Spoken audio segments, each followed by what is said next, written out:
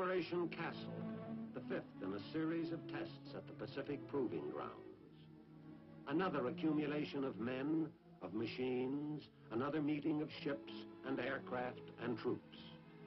Here was the best of physics, of metallurgy, of electronics. During the months after the historic Mike detonation, preparations for a new series of tests to solve the problems of a deliverable megaton weapon went ahead at an accelerated pace throughout the country. Operation Castle became a reality and is now successfully concluded. The report which follows is a summation of what occurred at the Pacific Proving Grounds during that operation in 1954. Here to lead off this record is General Clarkson, Task Force Commander. Operation Castle was concluded on the 14th of May, 1954. Castle was an all-thermonuclear test, a test basically of devices in the megaton range. We feel that the report of this important test should give the failures as well as the successes, should reflect the changes in thinking that occurred during the test.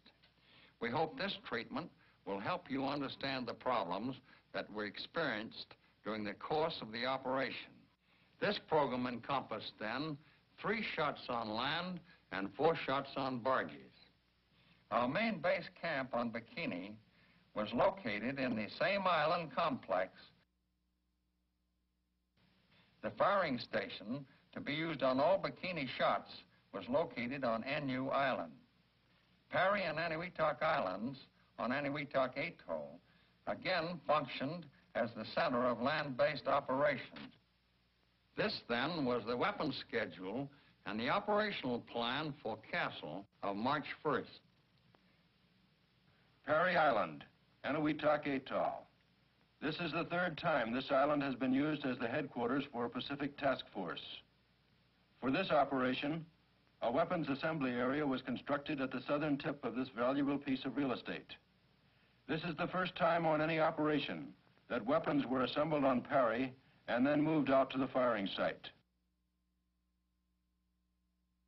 Weapon development would be impossible without diagnostic instrumentation. But such instrumentation is expensive, very expensive at this distance from home. For this reason, extensive instrumentation was limited to a few shots, and each diagnostic experiment was carefully considered before being included in the program. This instrumentation, while more elaborate than that of other shots, is representative of the type of diagnostic studies made. Recorders to read the yield of the primary bomb from its rate of neutron multiplication. Cloud sampling for radiochemical determination of fission yield and to assist in determination of total yield. High-speed cameras and photo towers for ball of fire photography to indicate total yield of the device. Scopes recording electromagnetic radiation and cameras, both to obtain the time interval between primary and secondary bomb detonations. Other cameras to look directly into the open door of the cab. A great mass of information was gathered as a result of an array of 12 evacuated pipes. These pipes are like peepholes, looking at portions of the weapon's case to pick up gamma and neutron emission from many stages of the reaction. Starting at H minus 48 hours, all personnel at Bikini Atoll were evacuated from the scattered islands and moved aboard task force ships. The only men to remain were the members of the firing party, protected in their bunker on Anu Island. Once more, for the first time since Operation Crossroad in 1946, Bikini took its place in the story of atomic testing. The date was March 1, 1954.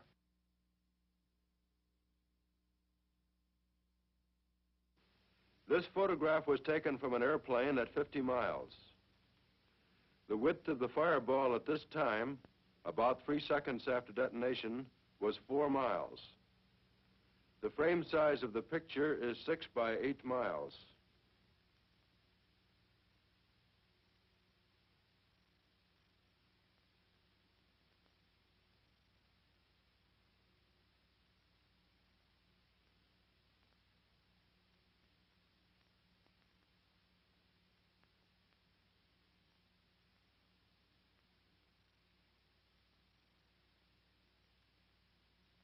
The top of the fireball at this time, 40 seconds after detonation, was five miles above sea level.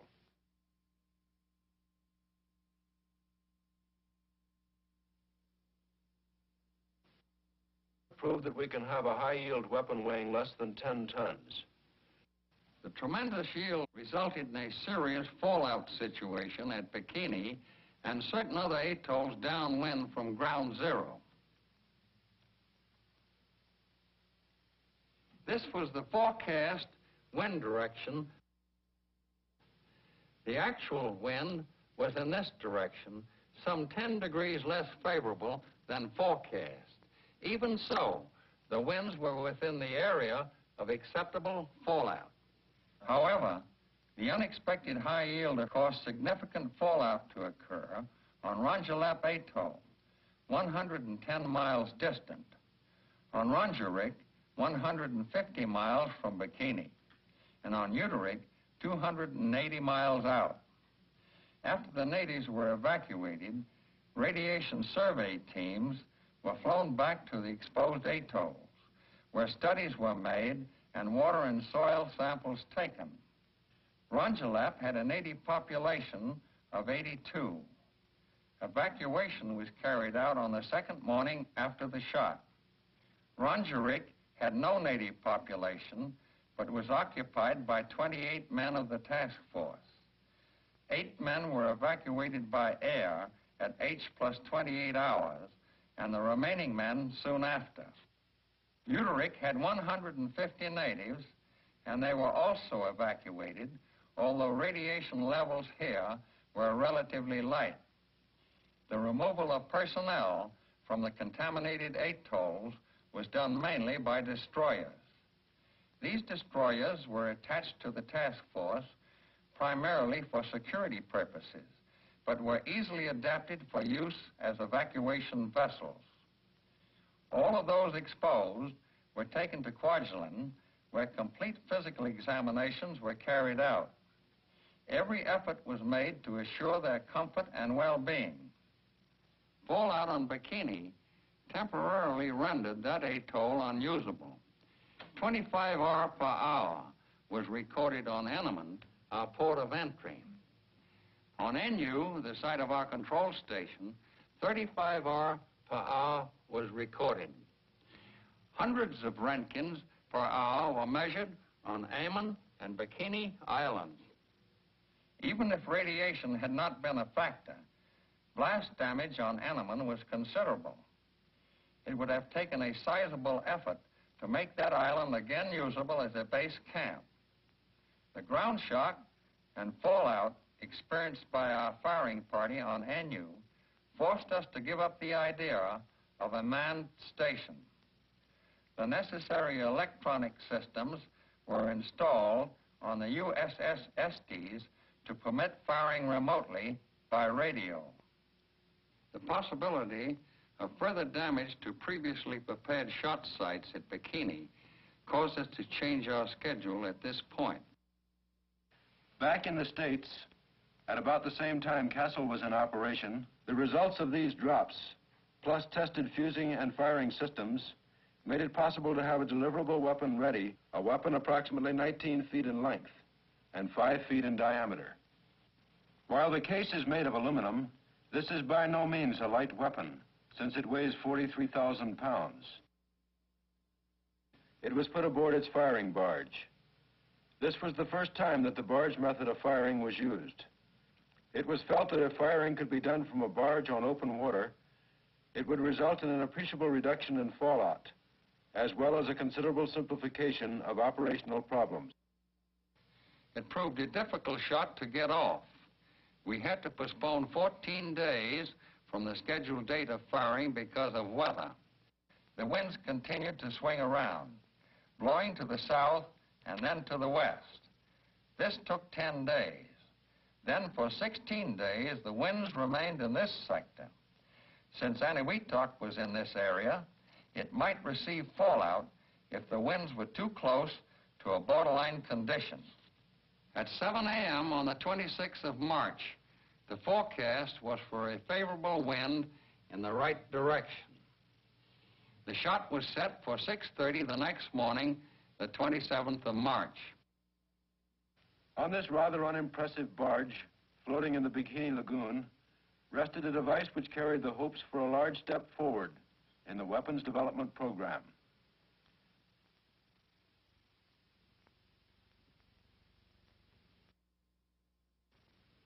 Distance of the camera aircraft is 50 miles.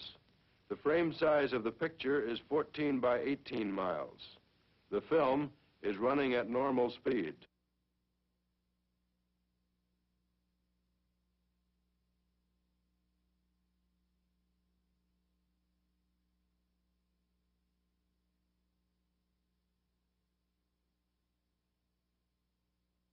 Looked from Enewetak Atoll, 200 miles away.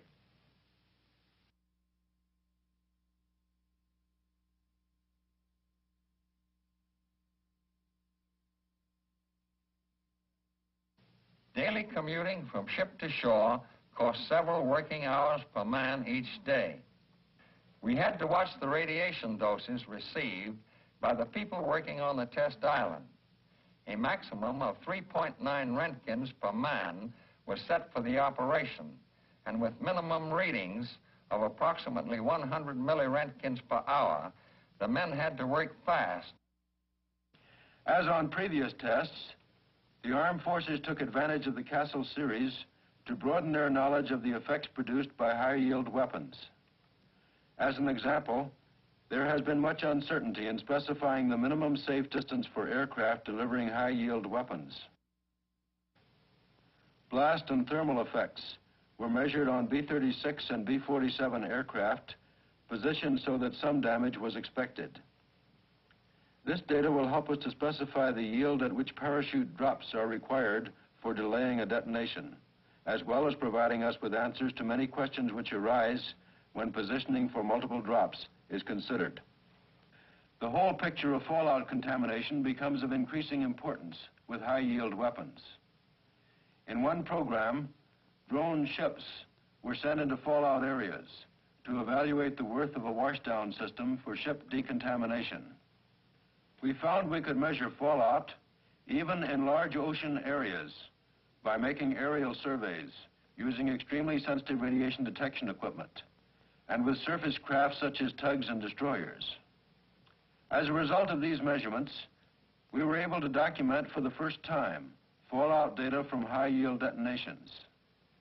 It is now known that fallout from the larger castle shots blanketed areas of more than 5,000 square miles with radioactive material that would have been lethal to unprotected personnel. This one result gives a new insight into a method for using high-yield weapons in both strategic and tactical situations. It is now around the 10th of April, and the recap of our story of Castle. Three shots down and three to go. The weather continued to work against our keeping a firm firing schedule.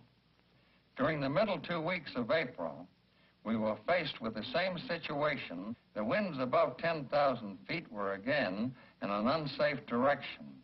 Under these conditions, populated areas were directly in line of fallout. Again, we postponed, awaiting a favorable forecast.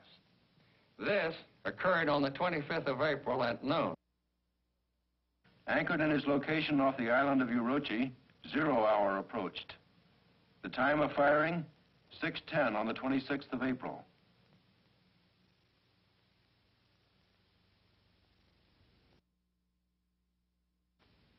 Camera position, 50 miles at 10,000 feet. Size of picture, 14 by 18 miles. Photographed at normal speed. The yield was 7 megatons.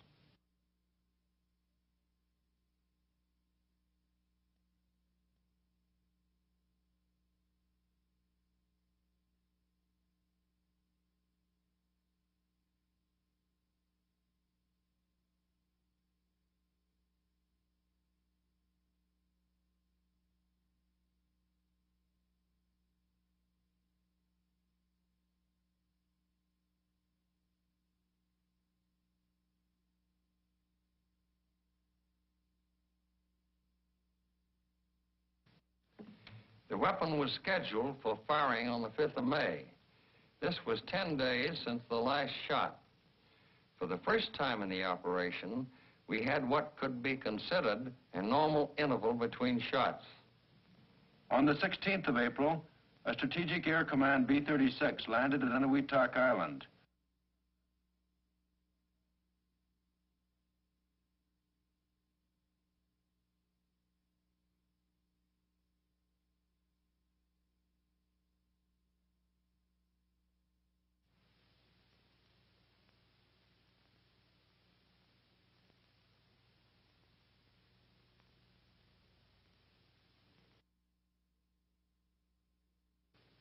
Camera position, 50 miles at 10,000 feet.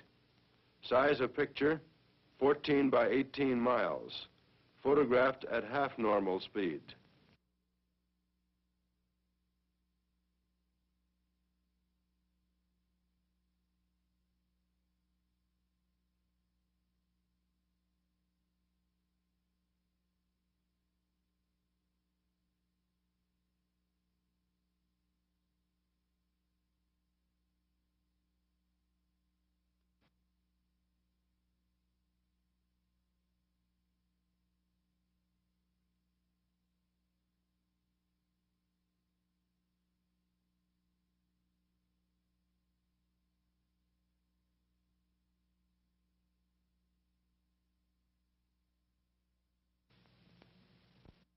The sixth and final shot of Operation Castle. This device was also flown out to the forward area for final assembly at Parry Island. The barge was towed directly to its zero point at Eniwetok Atoll. Here, over the spot that was once the island of Elugelab and is now the Mike Crater, was anchored in position. At 6.20 on the morning of May 14th, the smallest device of the operation was ready. This test initiated an investigation of small, lightweight thermonuclear weapons in the megaton class. Size of picture is 14 by 18 miles. The yield was about 1.7 megatons, essentially as predicted. From this firing, we learned that we have the capability of developing megaton weapons weighing less than 10,000 pounds.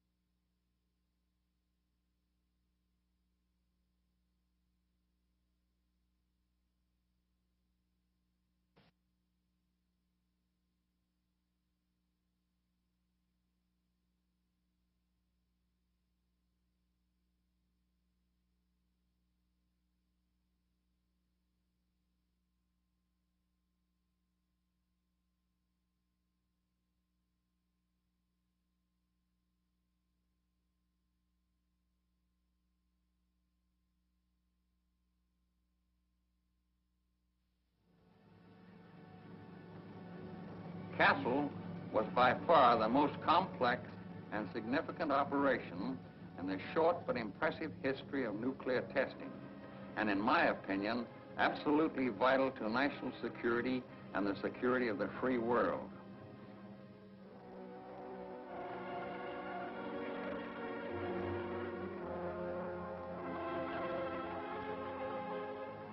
We were beset by operational problems of a magnitude not encountered previously.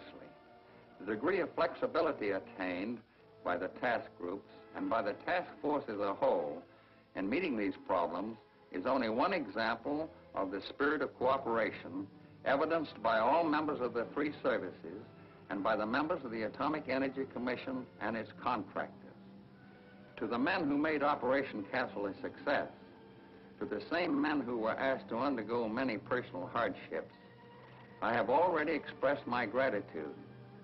I am sure that these men also deserve the sincere appreciation of the Department of Defense, the Atomic Energy Commission, and the people of the United States. This concludes the report on Operation Castle.